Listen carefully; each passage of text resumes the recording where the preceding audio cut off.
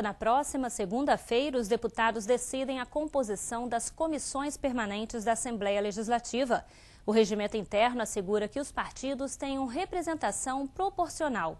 Funcionam na Casa 13 comissões permanentes: Constituição e Justiça, Finanças, Agricultura, Defesa da Cidadania e dos Direitos Humanos, Ciência e Tecnologia, Cultura, Defesa do Consumidor, Educação, infraestrutura e logística, turismo e desporto, meio ambiente, saúde e segurança. E nesta legislatura será instalada a 14ª Comissão Permanente, que vai discutir política antidrogas. Ela foi criada no ano passado.